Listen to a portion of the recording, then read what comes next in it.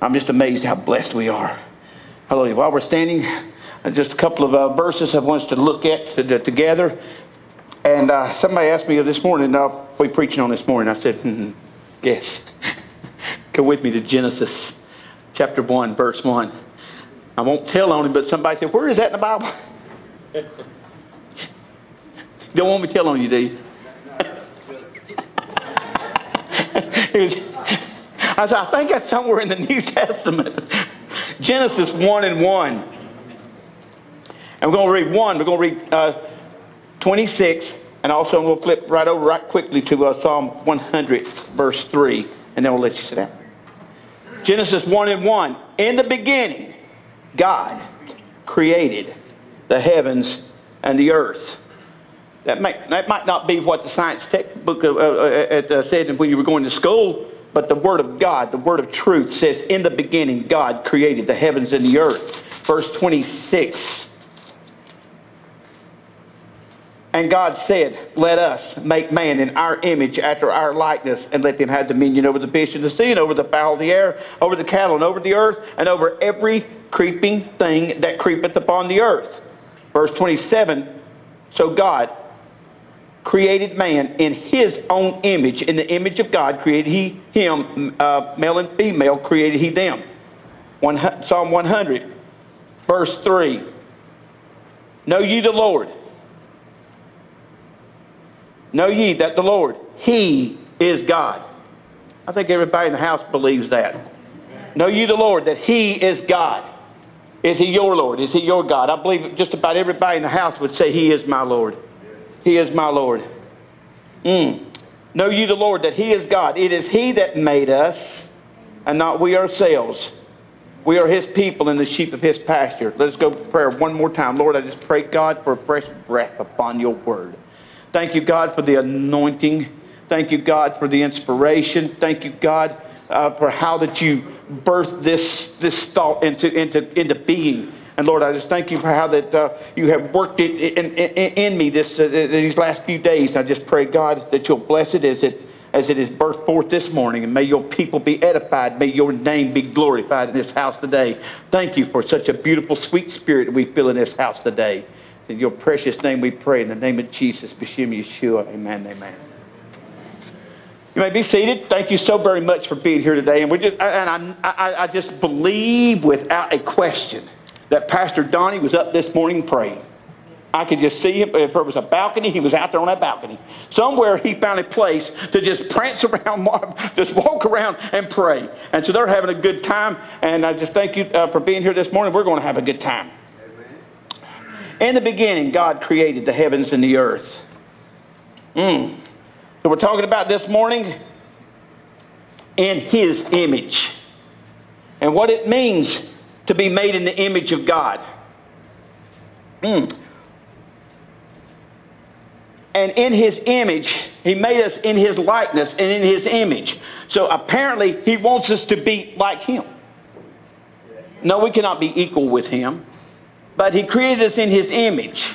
And I had better get along with each one of you because guess what? You're made in the image of likeness of God. If I can't get along with you, how am I going to get along with him? Amen. mm. They said, back to Genesis uh, uh, 1 26, 27, just kind of uh, uh, a piece in it here just a little bit, said, Let us make man in our image according to our likeness. So God created man in his image. The word here, the Hebrew word here for created is bara, and we'll get into that in just a little bit. God created bara, and, and his ability to create bara means he could just make it out of nothing. There did not have to be any pre-existing material there. He made the pre-existing material there had to be pre-existing material. But he spoke, most everything he spoke, he spoke it into existence, and there it was. Somebody said, I believe in the Big Bang Theory. God said, bang, there it was. In the image of God, he created, he, he created him, Adam, male and female, he created them, uh, he them. And also you can see Matthew 19 and 4 that kind of kind of backs that up. Uh, we mentioned uh, with someone in conversation this morning that creation is all through the Word of God. There are so many references to God creating all the way through from, from uh, Genesis to Revelation. Creation is all through the Word of God. And no, I'm not going to be doing uh, one of my teaching lessons this morning on, on creation. I, I, I would like to have. I mean, I said, Lord, is that what I'm going to get to do when He gave me this verse of Scripture? I said, Am I going to be teaching on creation this morning? I can do that all day long. God said, No, not this time. So I said, well, Lord, I, I have all my fossils and everything ready. I've even shared some of those this morning. I'm an fossil anyway. But what is, what is God's image? When we'll look at this morning, some of the characteristics about God and how that God wants us to be conformed and transformed in our minds into that kind of image. That we can be the people of God, that we can be discipled into His image and be godlike. I think the, the uh, uh, popular term in our culture is to be Christ like. And he, and he didn't find it robbery to be equal with God. I mean, he is God. He's God the Son. But for us to want to be like him, that's the whole gist, the whole purpose of our discipleship is to become like he is. Uh, I know you're further along and closer than I am. I know. I, admit you're closer to, to, to be, be acting like and looking like and talking like Jesus than I am sometimes because I mess up. I, I say, whoa, that wasn't very Christ like. Sometimes I had to go back and say, I'm sorry. What I said, that was not very Christ like. But, mm, mm. But we want to look at some things that, that is the very nature of God. And I want to take on his nature. I want to I want to act like he is. I saw a little cartoon one time this in, in the little uh, in the little comic strip thing, it was Jesus. I mean, this little character, I guess, looked like the the, the typical uh, Leonardo da Vinci Jesus that you that you that we uh, kind of identify as just what Jesus looks like, and he's pointing over his shoulder. Now, over here behind Jesus is this little saintly little old guy with his Bible. He's standing there, he's smiling, he's so happy, he's in love with the whole world. And Jesus is over here saying, He's just like me. Now, wouldn't we love for Jesus to say that about us? Wouldn't you just love for Jesus to say, he or she, they're just like me? Well, that's, that's our heart's desire. There's something within us that when he imputed his righteousness within us at the moment that we become a new creature in him, the moment we were saved, there's something within us that wanted us to be like him. I didn't want to be like that old father of sin that I had served. I didn't want to be like that devil anymore. I wanted to be like the one who has now cleaned me up and made me something that, that, uh, that, that was, felt so much better than anything I had ever experienced before. I wanted to be like him. So, what is it to be like God? What is God's image? We're created in His image, in His likeness. What are the characteristics of God? The reason that we are not uh, seeing that from the time of childhood is because that some little ugly word called sin got into a perfect creation and messed everything up. We can blame Adam all day long if we want to, but if Adam had been alive today because he had never sinned, by the time I came along, I'd have messed it up. But there's this little this little thing we cannot really explain sin how it happened in a perfect creation created by a perfect and a holy god. Where did this thing sin come from in the first place? If i could explain it then it wouldn't be sin anymore it is a perversion it, it is an intrusion into what is otherwise a perfect and holy creation but it's apparently it's something that, that corrupted in the mind of lucifer and we're all suffering because he brought that thing to earth, tempted Adam and Eve. They disobeyed God, and every one of us are under that curse of sin. The only way out from under the curse of sin is the redemptive blood of Jesus Christ. I said that's the only way out. We can, we can, we can holler all, all we want to, but that is not redeeming anybody of sin. I found myself in Tennessee a couple of years ago with somebody trying to explain to me the way to get sin of, of, of uh, bitterness and sin of anger and uh, sin of prejudice out of me is I had to be, go through this little curtain of smoke and have all this tobacco smoke all surrounding around me. And I had to go through that little curtain of smoke to be cleaned of all this bitterness and all this prejudice and all this hateful attitudes that, that might be somewhere in me. And to get relief from that, I had to go through this, this, uh, this what they call that? Smudging process. I looked the cult leader in the eye and I said, Man, there is only one way to be relieved of sin. These things that you're talking about are sin. Are, am I, I asked him, I said, Am I right? These things you're describing to me are sinful uh, natures. He said, That's right, that is sin. I said, Man, the only way that anybody, the only way that man might be saved and be delivered from sin is through and by the redemptive blood of Jesus Christ. There's not enough tobacco smoke on this planet to relieve my sins. I'm fixing to get in trouble. There's enough tobacco and, and, and, and, that could be very close by to make me sin. I said it. If it don't make you sin, it's going to make you smell like you did. Ooh, I'm, I'm not here to preach on cigarettes. What is God's character? What is God's image? According to the Word of God in John 1 and 4, God is love. That is the attribute that seems to stand out about God. God is love. The very reason that we have His Word is because He loved us enough to give us the, the, truth of His Word. He loved us enough to be honest with us about our sin condition. He loved us enough to be honest with us about the, the, uh, the punishment of our sin condition. He loved us enough to send a, a, a, a relief, to send a, a remedy for our sin condition, He loved us enough to send His only begotten Son that whosoever believes in Him should not perish but have everlasting life. Why? Because He's motivated by His love.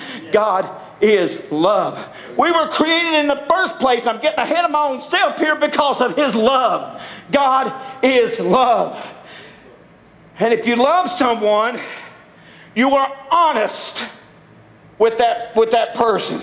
If you love someone, you tell them the truth. Our honesty is the very salt that makes us have the value to, to our message that we, that, that we experience. Our honesty is our salt. Amen. The truth that we share is light. We must be salt and light in this world that we live in today. Amen. We are called to be salt and light according to Matthew 5 13 through 16. Dishonesty is when the salt loses its savor. And lies bring darkness, not light. Dishonesty and lies are the traits of hatred. So if we love someone, we have to be honest and we have to tell them the truth. I'm going to repeat myself in a few minutes, but God loves sinners. It's not His will for any to perish. God loves backsliders. God loves no matter how deep in the miry pits of sin that we find ourselves wallowing in, God still loves us.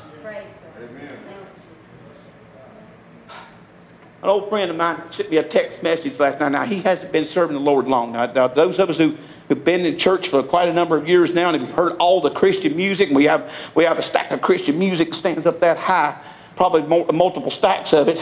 He sends me a text message. He said, Have you heard this song? It's called When God Ran. You've got to hear this song. I said, Man, I forgot about that song. I heard that song years ago. But he's all excited about the song. But, one, but after he mentioned, after he sent the text for the rest of the evening, the, the old song "When God Ran" is, is, going through my mind the rest of the day, and I'm reminded of an old uh, uh, uh, passage, an old uh, lyrics in that song that I had forgotten about. It said, "My son, don't you know I still love you." There is nothing we can do to separate ourselves from the love of God. We have His Word on it. He loves. But if we love like God loves, God loves us so much, He will be honest with us. Amen. He will tell us the truth. When Jesus said, I'm going to prepare a place for you, this is nowhere in my notes. I'm going to prepare a place for you. In my Father's house are many mansions. Whatever those mansions are, they're there. He said, If it were not true, I would have told you so. Am I right? The words say that. Thank you, brother. I need a witness. We can, we can bank on what Jesus said. It's truth.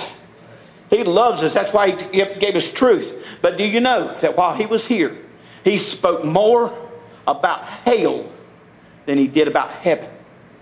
When you go and you count the references that Jesus mentioned, the weeping, the wailing, the gnashing of the teeth, he talked more about the warning of sin than he did the reward of righteousness. He loved us so much, he wanted to make sure that we didn't go to hell. The most hatred, the most darkest hatred that I can imagine is to want someone to go to a devil's hell. So many people tell their loved ones to go there when they're angry. That is the ultimate hatred. We are salt to our culture. But if we lose our honesty, our message will have no more value than dirt that's trodden under the feet of man. Mm, that's a tough word right there. I was talking to an old Church of God preacher yesterday. He said, uh, "You preach more. You're going you're going to tell the truth, aren't you?" I said, "Man, if I don't, it's not it's not going to be any more valuable than, than dirt." God is holy. Leviticus 19, 9, 1 Peter 1, 16. You don't have to turn to these. These are just references right quick. But God is love, God is holy, and those so go so well hand in hand together. God is forgiving, according to uh, Psalm 103, uh, verses 1 through 3. God is forgiving. He is gracious, Exodus 34, 6. He is patient. He abounds in patience, Exodus 34 and 6. He's long suffering, Exodus 34 and 6. 1 Peter 3 and 9. Merciful, Exodus 34 and 6. Yeah, that verse 30, uh, Exodus 34 and 6 tells a whole lot about the nature of God. That's what God was telling uh, Moses at that time. He's passing by. Moses hiding in the rock. God's passing by uh, Mount Sinai. And these are some things that he just uh, uh, felt like Moses would like to know about him. So he tells Moses, I'm, I'm, I'm patient. I'm long suffering. I'm, I'm, I'm, I'm all these things. I'm merciful. God is a giver of good gifts. I think that's why sometimes Christian folks just want to give everything away. And if you want an example of that, look at Pastor Donnie O'Shields. God is giving, and He's a giver of good gifts. James 1.17. God is forgiving. I like that one. We all, uh, uh, we all have to appreciate that about God is He is forgiving. Psalm 103 verses 1 through 3. He is a caregiver. 1 Peter 5 and 7. We, we came up here, we threw our little our little Kleenexes on the altar. We cast our cares upon Him because He cares for us. God is a God of compassion, James 5 and 11. He's a God of forgiveness, we have already said that, Psalm 103. He's a God of love, peace, joy, meekness, gentleness, goodness, faithfulness, temperance, because the fruit of the Spirit originated with Him. And these are the characteristics, these are the attributes that we, as His followers, as His believers, as the children of God, are supposed to, to uh, uh, see working in our lives is that very fruit of the Spirit. It's not fruit of Kenneth Connell. Because it ain't in me. It's of the Spirit that, that, that works in us to where we can show these attributes both to God. I said both, but actually it's three. To God, to those around us, and even some temperance and self control for our own personal relationship. Amen. Do you know that before you can have friends, you got to like yourself first? The first friend that you will ever make Some of these babies? By the way, I love these babies. This is a blessing. How many babies are in the house? I see, I see, I, I know, yeah, some baby, I know there's one over here and there's one over here. And one of them, I keep grabbing his ear. I don't even know his name. That is the most friendliest little guy. What is his name? Mason. He's back there. We have some of the most adorable babies around here.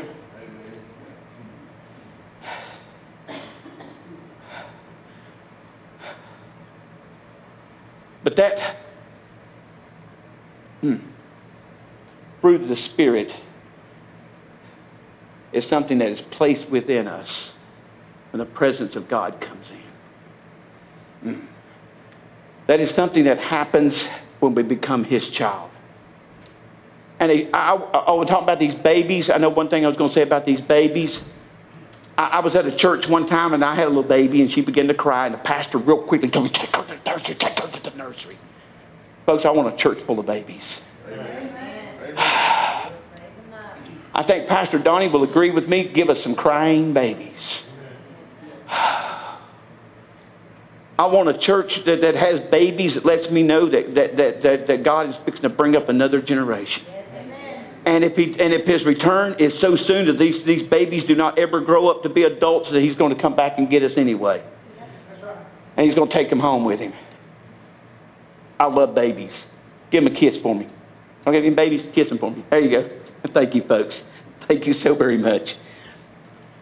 But the fruit of the Spirit will cause us to have a nature kind of like these babies. These babies let anybody hold them.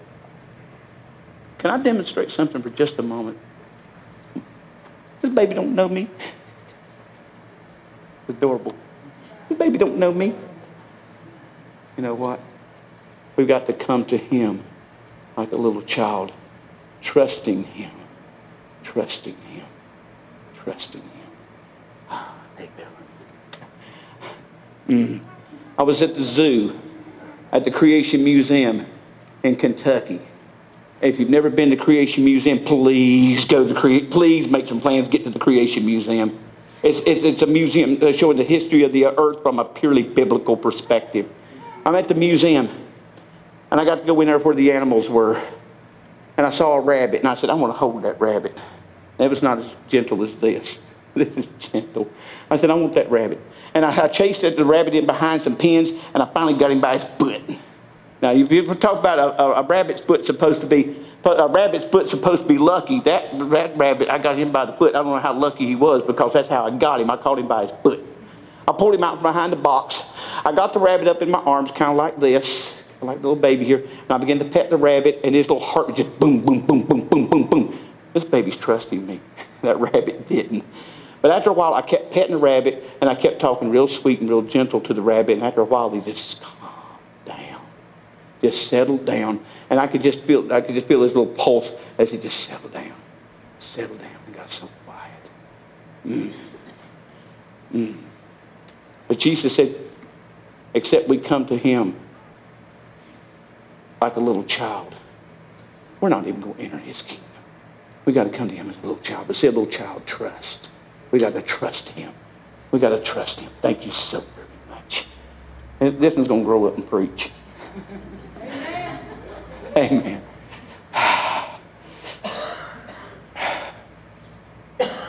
We got to come to him with trusting and knowing that, he will, that he's going to take care of us. And that's the kind of God I want.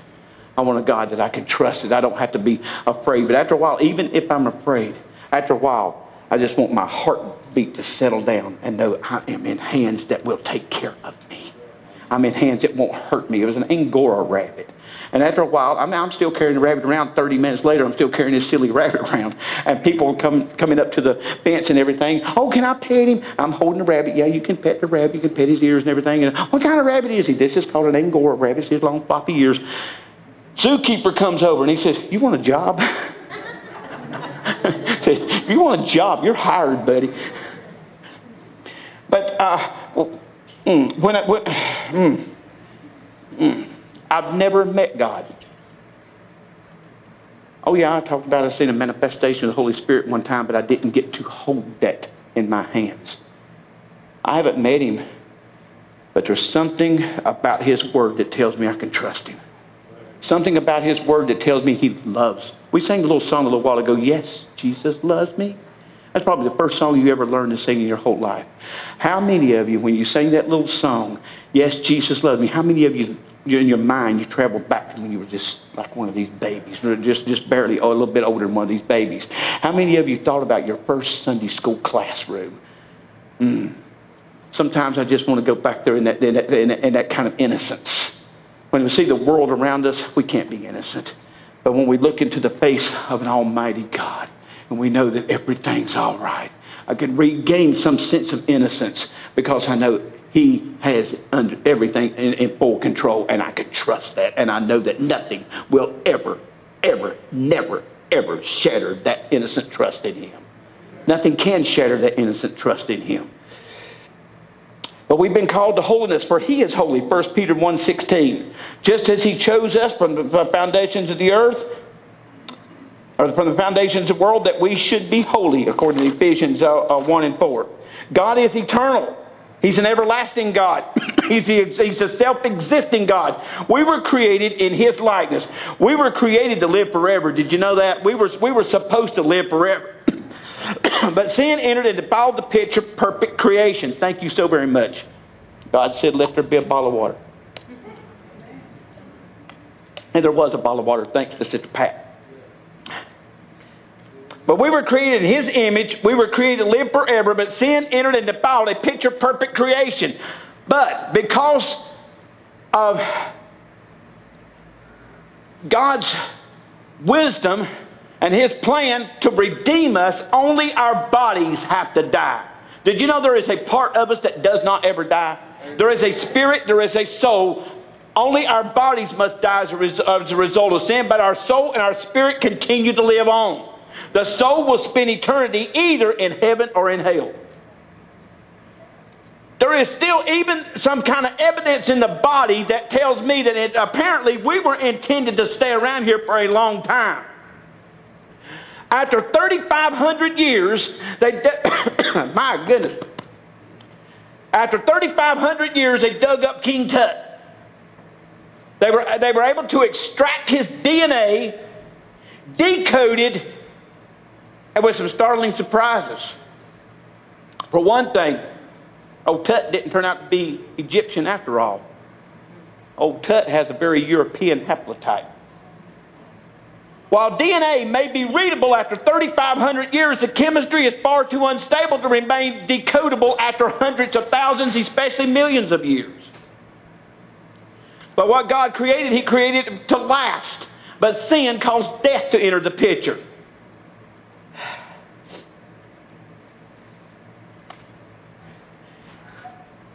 Yet, we are told that these dinosaur creatures died 65 million years ago. We're told that by the evolutionists, and we're also told that by the progressive creationists. But dinosaurs that supposedly died 65 million years ago have been found with both detectable DNA in their blood cells and even in unfossilized skin and bone tissue. How, they, how could they be that old? They're not. But God created, by the way, He created dinosaurs same day He created man. But God created us to live forever. And that part of us that lives on after the body has to lay down and give up. One day it's all going to be resurrected, it's going to be brought back together again. But that part of us that lives on forever is going to live on forever somewhere. And God, because of His love for us, He gives us the, uh, uh, His word to let us know we're going to live on forever somewhere. The choice is to be made now. Where are we going to spend eternity? God has the ability to create we're back to that word bara, even ex nihilo, which means out of nothing. Um, mankind, being the image bearers of God, are able to make things. We have a creative nature about us because we're created in the image and the likeness of God. We can make things, new tools, new technology to trans, transform our environment and to help us survive in this sin cursed world. We have the ability to make things. God created bara out of nothing. Man has the ability to make asa things out of existing material because of a creative nature. God created because He wanted to, motivated by love. We make things due to our need.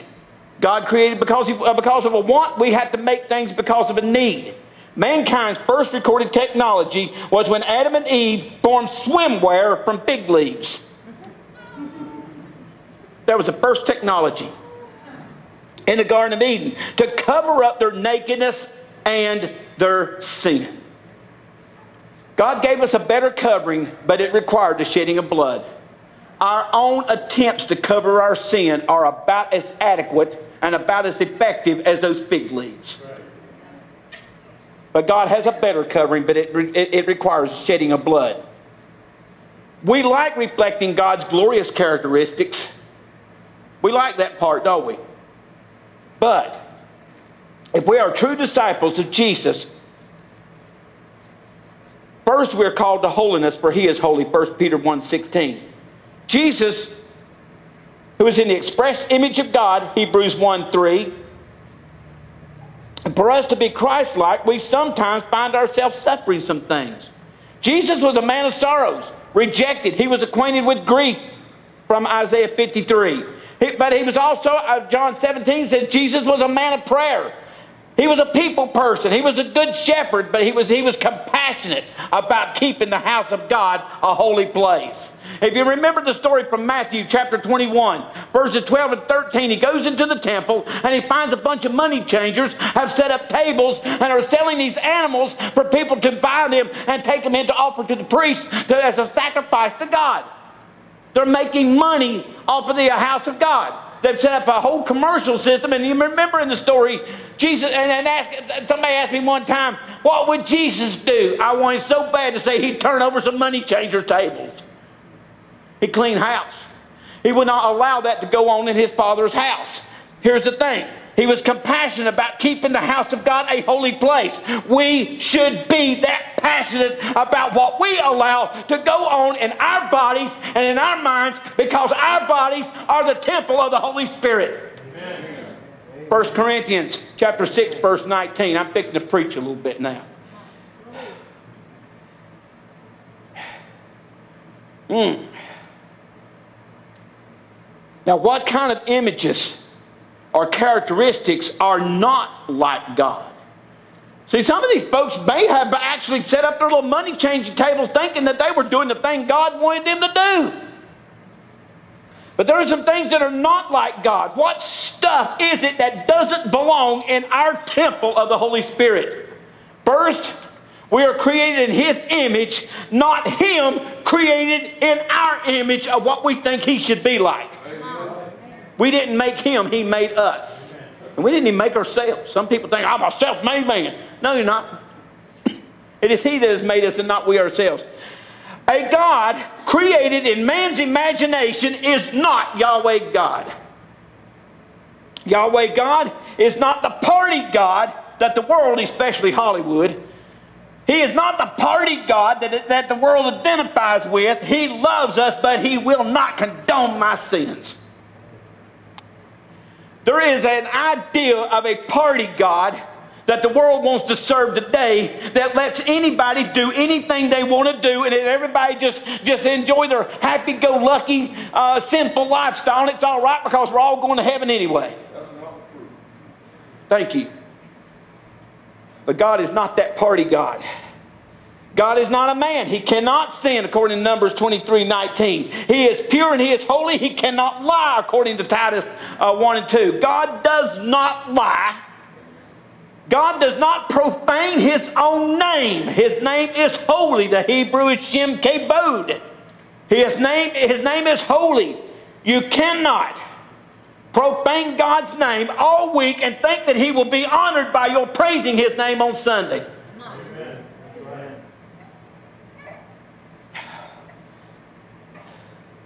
If you are a sinner, you cuss like a sailor. If you are a sinner, you cuss, you take God's name in vain. That's what you do if you are a sinner. But if you want to save 15% or more on car insurance, oh.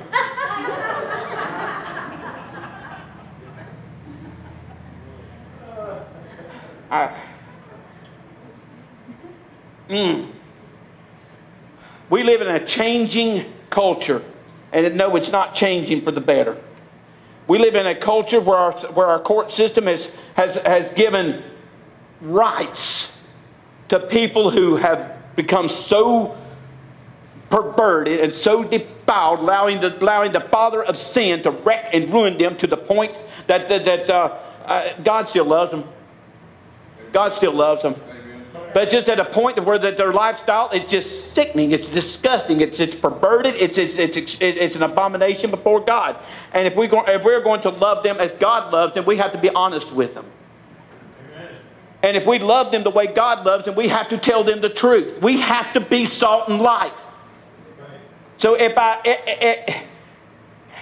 if I condone somebody in their sins, then I must hate them pretty bad to condone somebody in their sins and let them think they're all right when they're on their way to a devil's hell and we don't show them the truth, we don't show them the light, that's hatred. So when they accuse us of hating them, it's kind of an oxymoron uh, accusation. If we hate them, we'd say, Oh, you're all right, you're fine, you're okay, you're okay, I'm okay, we're all okay. But if we love them, we will warn them of where that destructive lifestyle leads to. Because God is not gay. Amen. Nor does he endorse nor bless, neither does he unite gays in marriage to each other. Genesis chapter 2, verses 23, 24 said, Let a young man leave his mother and father, be joined unto his wife, and let them two become one flesh. Matthew 19, 4, Jesus said, Have you not, uh, have you not, have you not read that in the beginning God created male and female?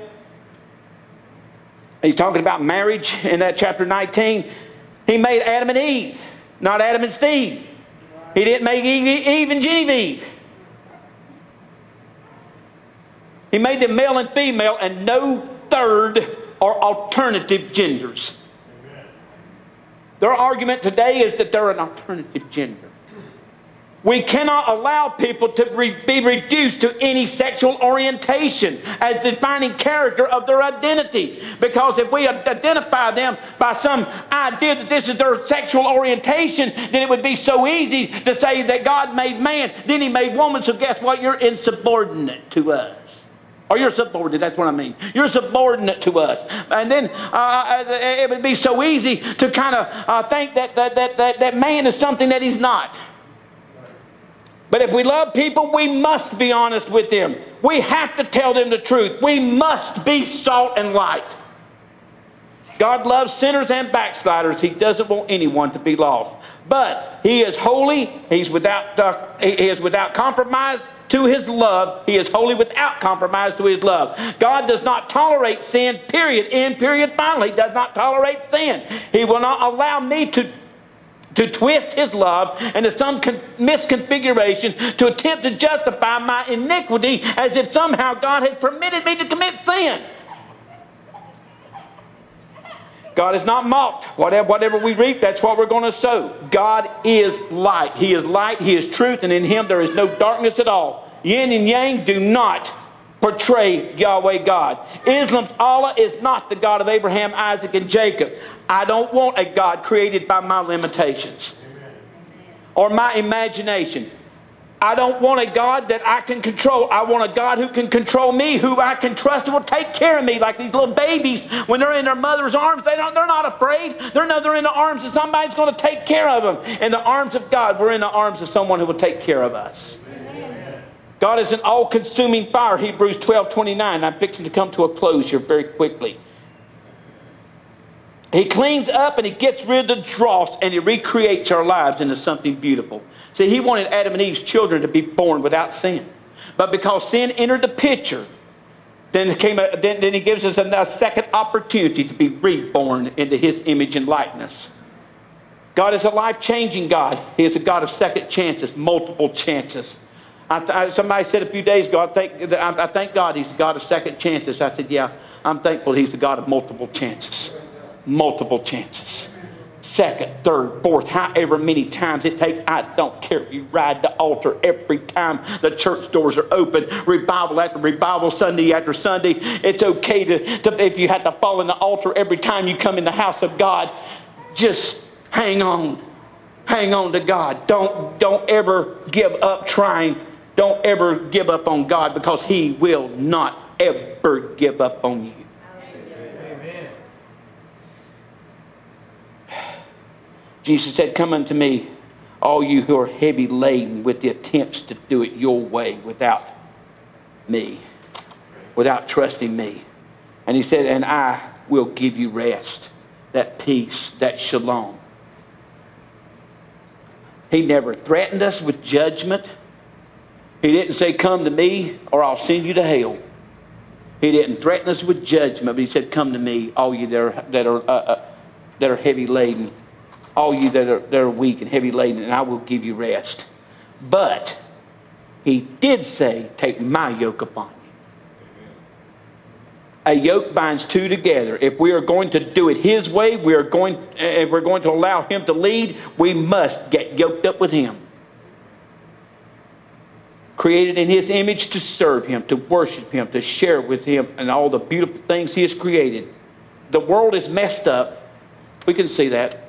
The world is messed up because sin entered the, entered the story and defiled what was a perfect creation. But God wants to take you out of your mess and make you into something he can bless. Mm. Mm. Last stand if you would come around.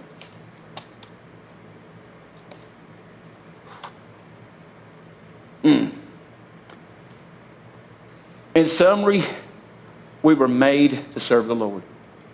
It was an old song we used to sing years ago all the time. We, every time, every Sunday night, there'd be somebody say, "I got a special sing tonight," and they'd sing that song. I was made to serve the Lord. I heard that song every Sunday night for two or three years. I was made to serve the Lord. But you know, we were.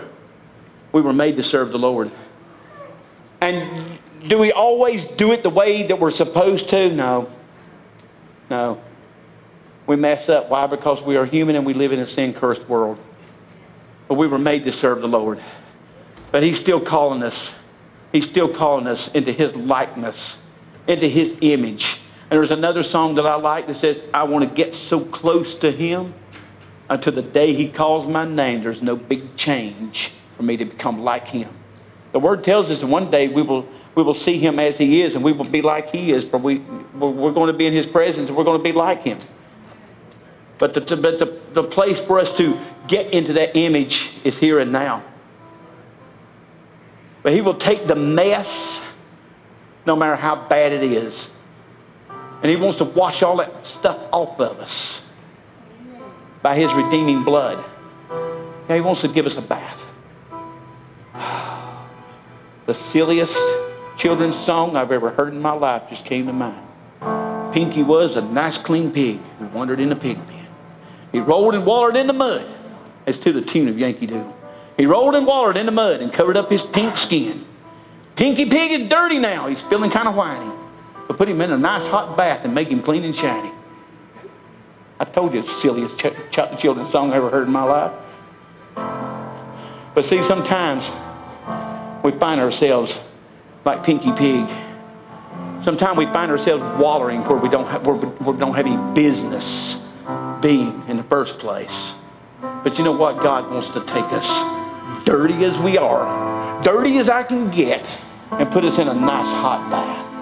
And lovingly, like that mother bathing that baby, clean us up. And transform us into His image, into the glorious image He made us to be. See, He didn't want all the stink of sin on us. He wanted us to look good and smell good. Yeah, you look good. You look good. But sin stinks. Sin's a reproach to any people. Could we stand for a moment?